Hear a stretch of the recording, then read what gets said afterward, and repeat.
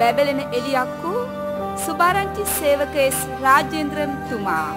பிரதிஷ்டையை காத்து ஒளிச்சுடர் சுவிசேஷகர் எஸ் ராஜேந்திரன் அவர்கள் එක්දස් නමසය හැත්තට මාර්තු මස දහතුන් වන දින සුභාරංචි සේවකෙස් රාජේන්ද්‍රම් තුමා අතගැසූ සේක. ஆயிரத்தி தொள்ளாயிரத்தி எழுபத்தி எட்டாம் ஆண்டு மார்ச் பதிமூன்றாம் தேதி சுவிசேஷகர் எஸ் ராஜேந்திரம் அவர்களை தொட்டது ඔවු ප්‍රේමවන්තේනි. ලංකාවේ ගැලවීම සඳහා ජේසු ජියමානයි සුභාරංචි සේවය තෝරා ගැනීමට දෙවිඳුන් සැලසුම් කළ සේක.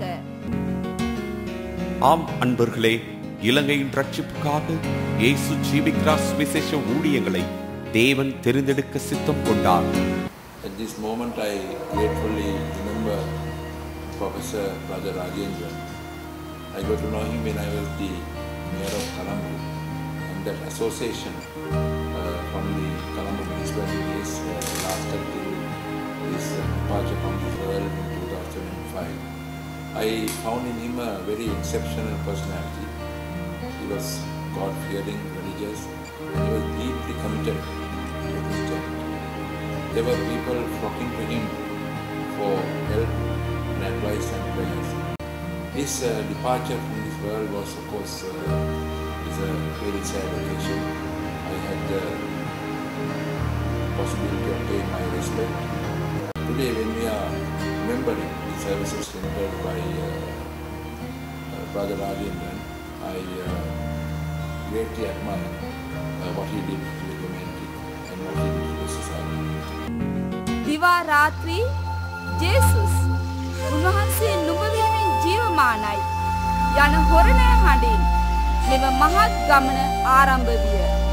මෙම දර්ශන ගමන කරට කර දරාගත් ආඩම්බරය මාගට් රාජෙන්ද්‍ර මෞතුමියට උරුම වේ. இரவும் பகலும் இயேசு அவர் உனக்காய் ஜீவிக்கிறார் என்கிற முழக்கத்தின் முரசோடு இந்த பாரிய பயணம் தொடங்கியது இந்த தரிசன பயணத்தை தோளோடு தோள் கொடுத்து தாங்கிய பெருமை மார்கரெட் ராஜேந்திரம் அம்மாவையும் சேரும் කැලබිමට පත්වන හදවත්වලට මෙම සේවය මගින් පහන් ටැබක් ලෙස ජේසුස් දර්ශනය වූ සේක. ලෙස් සුවයක් කම්බුණා ඒකට අනස්තමයි වෛද්‍යවරුණුත් විද්‍යාවත් අත්හැරියාද. එනමුත් නුඹට මිදීමක් තිබේ. கலங்கி நின்ற இருதயங்களுக்கு இவ்வூழியனின் மூலம் கலங்கரை விளக்கமான இயேசு காட்சி அளித்தார் මම දැන් යපත් සන්තෝෂ ජීවිතයක් ගත කරනවා ඒසුස් වහන්සේ තමයි මාව සුව කරේ.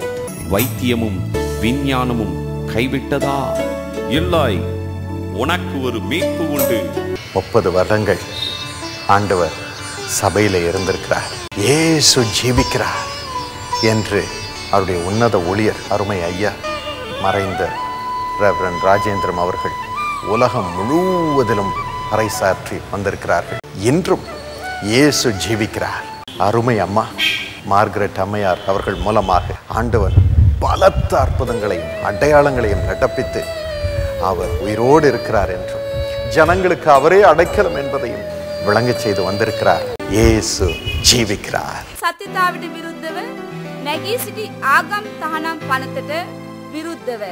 දෙදස් එක වසරේ දෙවියන් වහන්සේ වෙනුවෙන් මරණයට පත්වීමට පන්දහක් සෙනග සමග රාජේන්ද්‍රම් තුමා මහා මාවතට බැස්සේය. දෙවියන් වහන්සේ ජයදුන් සේක.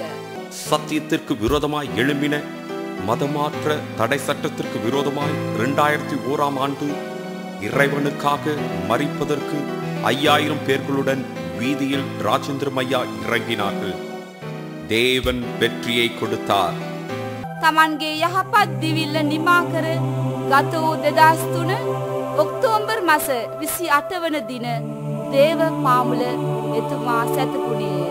தனது நல்ல போராட்டத்தை முடித்துக்கொண்டு கடந்த இரண்டாயிரத்தி மூன்றாம் ஆண்டு அக்டோபர் மாதம் இருபத்தி எட்டாம் தேதி தெய்வத்தின் திருப்பாதத்தில் சரணடைந்தார் විශේෂයෙන්ම මම බොහොම සතුටු වෙනවා ආචාර්ය රාජේන්ද්‍රම් මැතිතුමා ගැන විස්තරයක් ප්‍රකාශ කරන්න. තුමා රටවල් ගණනාවක රජයේ කියන්නේ බුද වාතාවරණ උඩ ඒ ස්ථානවලට ගිහිල්ලා දේශනා කරලා ඒ ප්‍රදේශයේ ජනතාවට සාල සේවයක් විශේෂයෙන්ම සාමය සම්බන්ධව එතුමා විශාල වැඩ කොටසක් ඉෂ්ට කළා.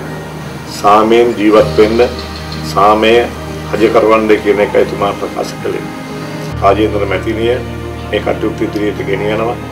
අපි සුබ පතනවා එතුමියට ඒ මහාචාර්ය රාජේන්ද්‍ර මැතිතුමා කලා වූ සේවයට වැඩි සේවයක් එතුමියට කරන්න එකේ වයික ප්‍රාර්ථනා කරමින් අන්නේ නාවෙන් සේවා කටයුතු සපලත්වයෙන් දිගටම ගමන් කළේය. බොහෝ සභාවල් පිහිටවනු ලැබීය. සියලුම පළාත්වල பிரசித்த சுபாரஞ்சி මෙහෙයන් පවත්වනු ලැබීය. தெய்வத்தின் கிருபையினால் ஊழிய பணிகள் வெகுமானத்துடன் தொடர ஆரம்பித்தன பல சபைகள் ஸ்தாபிக்கப்பட்டன எல்லா மாவட்டங்களிலும் பகிரங்க கூட்டங்கள் நடைபெறுகின்றது ජීවිතයේ සිට මහත් දෙවිදුන්ගේ සේවය. ක්‍රිස්තුස් වහන්සේගේ දෙවන පැමිණීම දක්වා පොළොව පුරා පැවැත්විය යුතුය. සුභාරංචිය මුළුලොව පුරාම ප්‍රකාශ කළ යුතුය. මෙයම ඔබගේ කොටසයි.